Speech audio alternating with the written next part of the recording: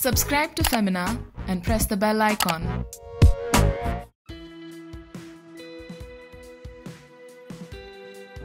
Hi, I'm Aditi, chef and co-founder at The Baker's Dozen, and you're watching at femina.in.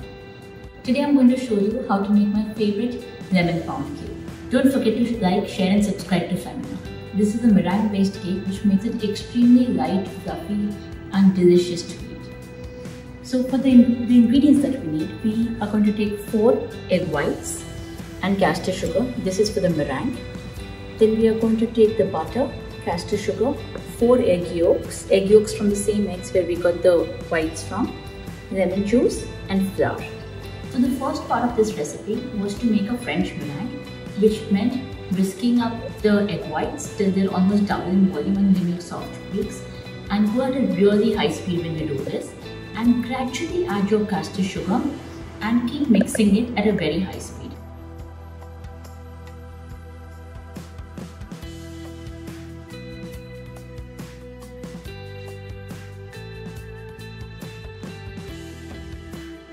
When you get texture like that, you know you've gotten your meringue. I'm going to now transfer this to another bowl and then make the batter for the lemon pound cake. Now for the lemon pound cake, we first take the butter, we will cream the butter and the sugar. Creaming the butter and sugar means you whisk it till the time it doubles in volume and becomes really pale yellow in color. Now if you would see this, my butter and sugar has creamed. It's almost doubled in volume and become pale yellow in color. We will gradually add the eggs to this.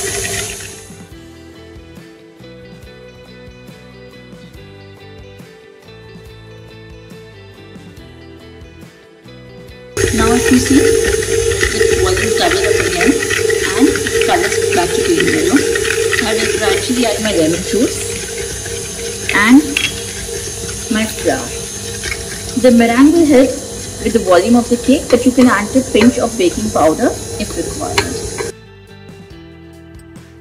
So this is the lemon cake batter and this is our meringue mix.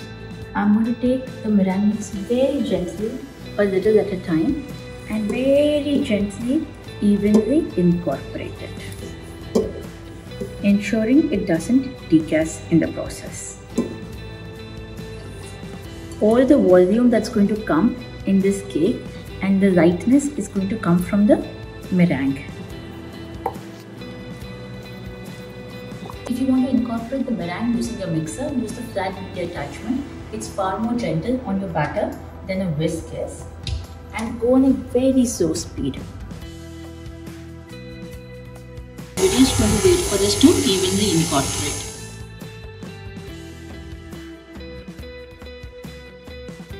Now my mixture has been evenly incorporated as you can see. So we can stop the mixing. I'm going to pour this into my mold and put it in the oven.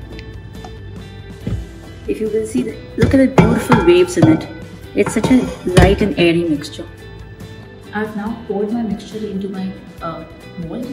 I don't want to tap it or even it out because in that process the meringue will degas automatically in the oven because of the heat the butter will melt and it will even out.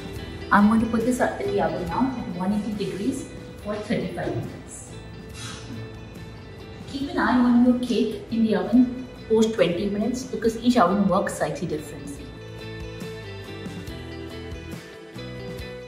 Thank you everyone and hope you enjoy this cake with your family.